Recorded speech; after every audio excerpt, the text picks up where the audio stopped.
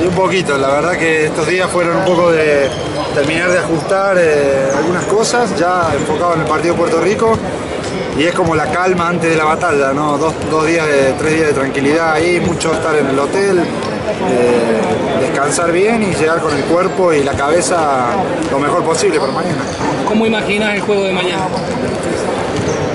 Eh, no, no me gusta imaginarlo mucho, prefiero centrarme en algunas cosas que, que tenemos que intentar hacer bien, defensivas. Eh, ellos tienen jugadores eh, importantes en el perímetro que tenemos que intentar neutralizar o por lo menos que no se sientan cómodos y, entro con eso y bueno, con algunas ideas de ataque de intentar que nos salgan las cosas.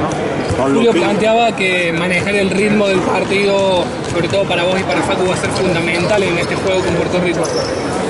Y ellos tienen tendencia, viste, a de repente jugar por racha, de que te meten un parcial de 8 a 0 y se vienen arriba y parece que, que son campeones del mundo, viste, en esos, en esos minuto y medio o dos. Entonces tenemos que controlar eso, intentar que no, que no les agarre la euforia por, por algunos malos minutos nuestros y se vengan arriba, ¿no?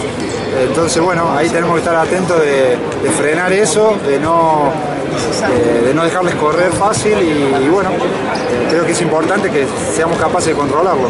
Si pensamos un cachito más allá de Puerto Rico, eh, No. ¿qué, qué sensaciones digo tenés hoy al, al comienzo del Mundial, digo, desde la experiencia, desde eh, ser el jugador más experimentado del plantel?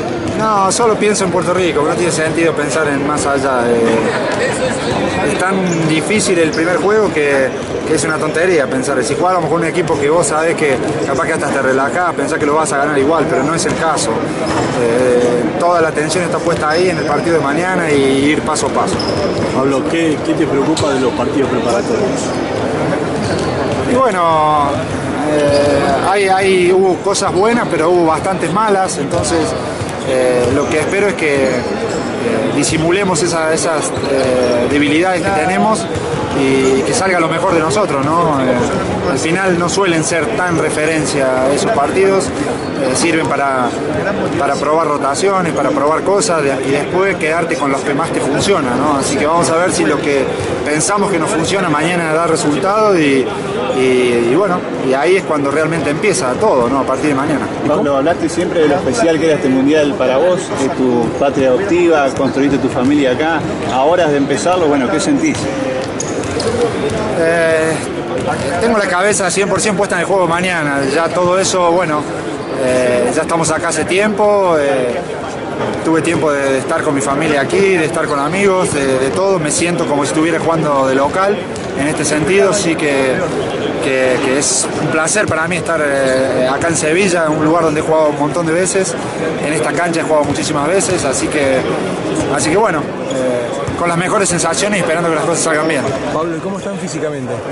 Bien, yo creo que bien, después de eh, casi cinco semanas ya de preparación, eh, pienso que todos eh, estamos bien y bueno, la dureza del torneo está ahí, no son muchos partidos seguidos y vamos a ver de qué, eh, somos capaces de llevarla bien, ¿no?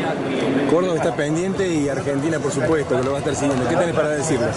No, sabemos el apoyo de la gente a través de las redes sociales, de- sobre todo, eh, y, y de la gente que va a venir acá, ¿no? Sabemos que hay mucha gente que va a estar acá en, en Sevilla apoyándonos y bueno, eh, el agradecimiento nuestro hacia ellos, los que están, los que están desde la distancia, y que tengan seguro que vamos a intentar dar el máximo, ¿no? Así que ojalá que nos hagan bien las cosas. Gracias, Pablo. Mucha suerte.